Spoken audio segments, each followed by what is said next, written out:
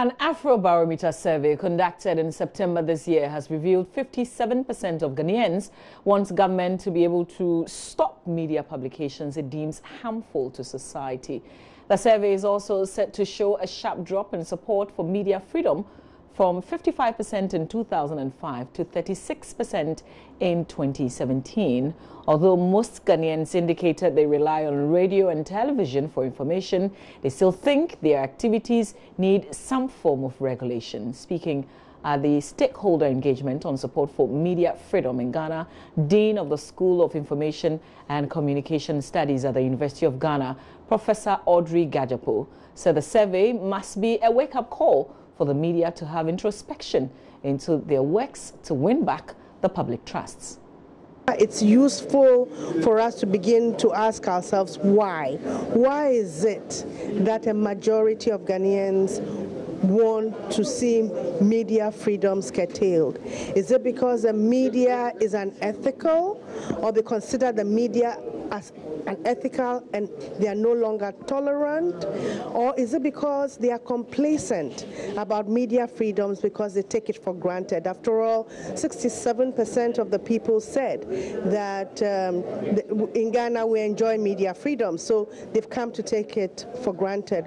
Or is it because they're tired of the content of media, which tends to be very politicized in a partisan way, NPP versus NDC?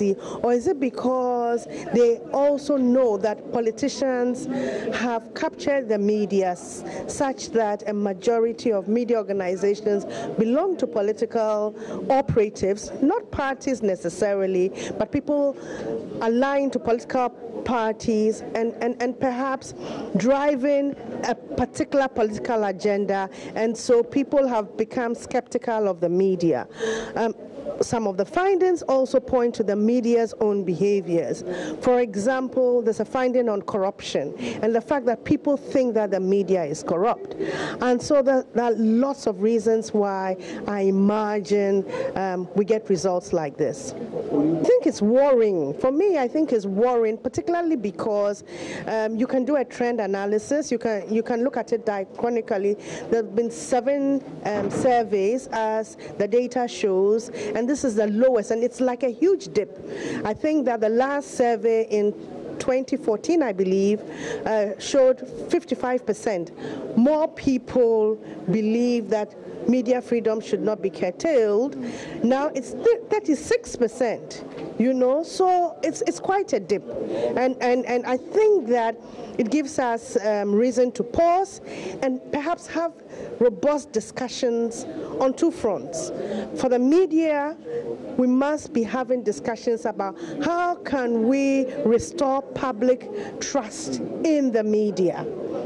For the public, how can you sort of not be complacent about what the media means in a democracy and not to take for granted and not to trust that you know you will still be enjoying the quality of democracy you have if media freedoms are curtailed.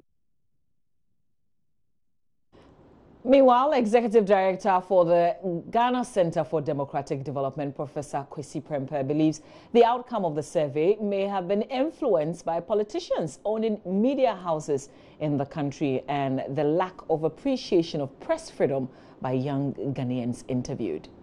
But Learning that the public also has a majority of Ghanaians trust the media. So it's not a really a, a, trust question, right? The majority of Ghanaians trust the media more than they trust government and yet are willing to live with more regulations. So it's something that is intrinsic to the media. The real issue is there's something about Ghanaian media that is causing the public to, as it were, become more tolerant of media. I have suggested, for example, that one possible reason might be that, well, 25 years into the Fourth Republic, most of the people who constitute uh, the sample for Afrobarometer are young Ghanaians. Uh, they, they have only known media freedom. They did not know the era before media freedom and therefore probably uh, can afford to, to risk what it is that we have. So that's one possibility that the only thing they know is media freedom. They have never known the days of one broadcasting house that was owned by the government. They've always known uh, these various media outlets uh, that we have today. So they can afford the luxury of asking for more regulation. But at a deeper level too, it may well be that you know there's something about media behavior that is causing this. We've explored many, many possibilities. Um, there's definitely the media is not free of blame. Uh, in this space. Uh, so you could see the media as not just, you could see this issue not as about just media freedom, but it's about media license. The media is actually just has awesome power and uh, maybe abusing it sometimes. Uh, there's that aspect of it. There's also the fact that many of us may be frustrated with what appears to be uh, partisan capture of media space.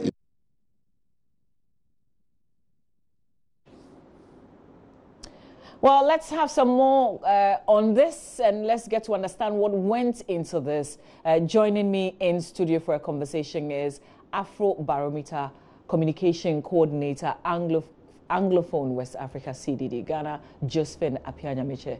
Uh, good morning to you. Thank you for being here. Good morning. Okay. Thanks for having me. First of all, can we understand the number of people who participated in this survey? So it was a nationally representative survey. We had a sample size of 2,400 respondents, and so that gives us a confidence of in a confidence in a confidence interval of 95 percent and the margin of error of plus or minus 2%. Mm. So we always ensure that our surveys are nationally representative. So with most of the country, every country that we work with, we work with the National Statistical Service in the country, and so they give us the proportions of the, the populations in the various regions, the male, female, rural, urban proportions and all that. And we ensure so that. So this is balanced? Yes, it's balanced. Mm. Yeah. All right. Uh, so what, what were some of the specific questions that you put out to People. So with the media freedom, we asked, we wanted first of all to know the level of media freedom that we had in Ghana. And so the question we asked was whether they think the media now has more freedom or the same level of freedom or less freedom than it did to criticize or investigate governments compared to a few years back. And then we have 62% of Ghanaians saying that the media has somewhat or much more freedom than it did to investigate government than the, a few years back. Mm. We had 25%, that's like a quarter, saying the level of freedom is just as, the same as it used to be. And then 9% saying that we have less freedom than we used to have, the media used to have. And then we also asked the first choice question where they were supposed to choose from two statements which ones they agreed or disagreed with. And mm. the first one was whether the media should have the right to publish any ideas or content without government interference. Mm.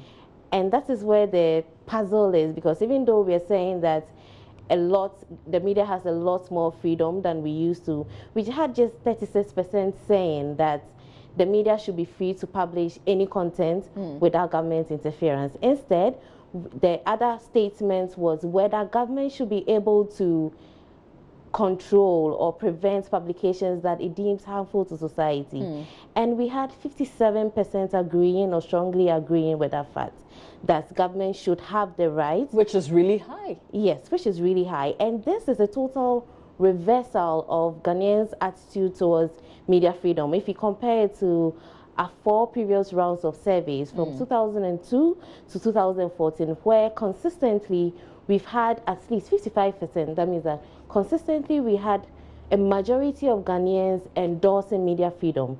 But then you find out that in 2017, it just dropped dramatically, mm. rather, to 36%. And that is still a puzzle we are trying to figure out, right? Mm.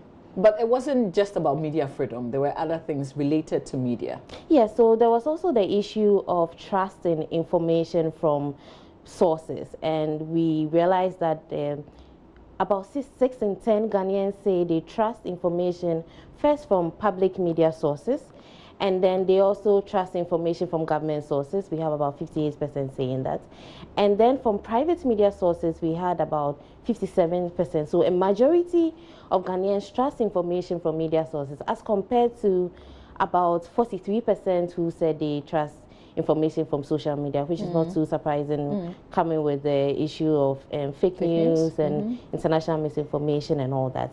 But then there's another puzzle. So when we look at the figures of corruption, and if we add those who are saying some people are corrupt to those who are saying a lot or most are corrupt, then we have the private and media, um, the private and public media personnel being in like the 70 percentage, so that we have about 70 percent of Ghanaians saying that at least mm -hmm. some of the media personnel are corrupt. Even though that if you look at only the figures for those who are saying a lot or most are corrupt, then we have the media personnel at the bottom. Okay. So those who are saying a lot or most of media personnel are corrupt are just about 17% mm. for private and public, as compared to like the 59% who are saying that the police are corrupt. Mm -hmm. compared, in fact, to all the other institutions, including the judges. Yes, traditional leaders, elected leaders.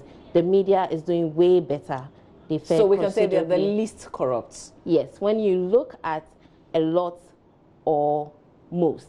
But then when we add the sum, it pushes us more like further to the 60s, 70s. So a lot more people think that most media people are corrupt. No, a few people mm -hmm. think that most or a lot of the media personnel are corrupt, but a lot more people think that at least some are corrupt.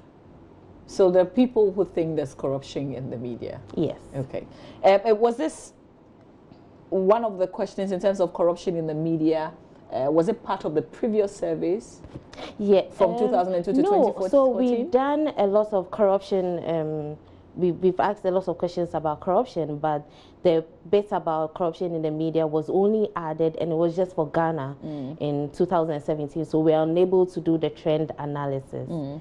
Yeah. Okay. And, and, and, I, and I think that I said in my intro that this was done this year, it was actually in 2017. Yes, mm. 2017. Also, back to the issue of support for media freedom, we compared Ghana to 20 other countries.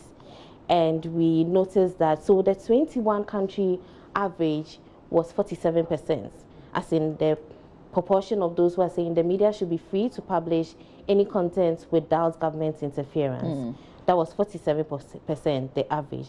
But Ghana is well below the average. So we're about 11 percentage points below the average. We're like 36%. And so. What, what does the, that mean? What does that mean exactly? So from the bottom, we are mm. like fourth from the bottom. Oof. Like the number of people who support media freedom in Ghana compared to 20 other countries, we're fourth from the bottom.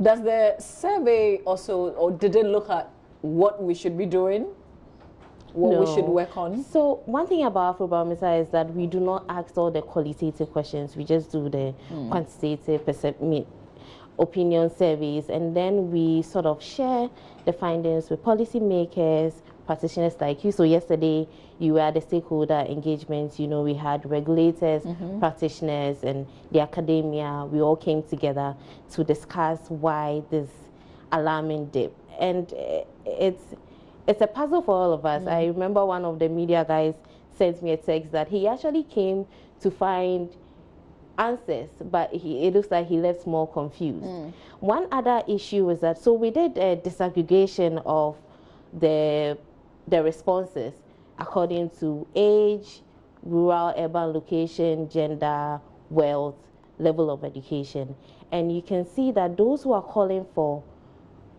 government control, it, it cuts across all these sectors.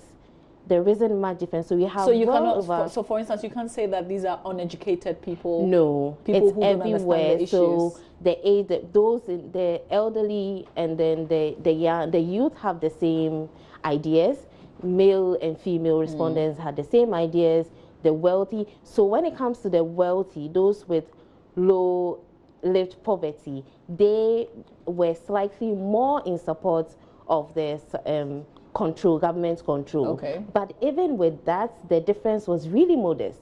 So you have well over 50% of people across all these demo social demographic um, social demographics mm. all asking for some sort of government control and that is pretty alarming especially since we know the role media freedom plays mm -hmm. when it comes to like democracy and all mm. that so. Mm. i guess that's why uh, uh, uh, Professor Prempeh, you know, says, for instance, that it's also because maybe the, the, the, the young people don't understand where we've come from. Yeah, but that's, that's the thing. where it's we are coming from. That's like, so, like I said, it's not just with the youth; mm. it's with the elderly as well. Mm. It's not just with the poor; it's with the rich. It's not just with those in the rural areas. Those in the urban areas are also calling for control. Mm. So it cuts across all the sectors. What kind of response? What kind of effects are you hoping that this survey would would do?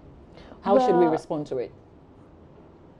It's it's I think it's something that we should take seriously, especially for advocates of media freedom to take seriously.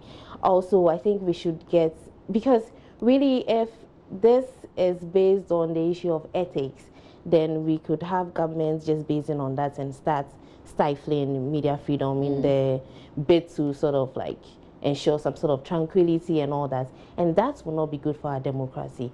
We look out for this support and demand for media freedom because it's one of the factors that we use to measure the extent of democracy in every country. That's why these questions are there. And we all know the importance of the press, the free press, mm. to ensuring accountable governance, ensuring democracy, fighting against corruption, and all that. So it's really something, if it's an issue of ethics, then we're calling on the regulators and even the practitioners to start doing their homework and do something about it. But also, I think we need to educate the we need to educate the the public about the importance of media freedom mm. to the they probably like Professor um, Prempeh okay. said they probably enjoyed the freedom so much that they have not paused for a second to think what the lack of freedom mm. or what the government control would actually do to the country. Absolutely. But there's also talk about um, newspaper consumption. And I think the survey looked at that as well. Yes, actually. So we looked at um, news consumption and then we realized that consistently since 2002, radio has been a major source of news consumption for everyone. But we also realize that consistently the consumption, the newspaper readership keeps declining mm. steadily, while the consumption of news or new media, that is the internet and social media, keeps increasing since um, 2012. It's increasing in its importance mm. as a news source. Interesting. Uh, and this is also coming at a time when we, we, we, we've been pushing for the RTI to be passed in Parliament. So I guess it would get the conversation going. Thank you so much for your time, Josephine. Thanks for having me. All right. Uh, stay with us. You're watching News Desk. Still a lot more to come.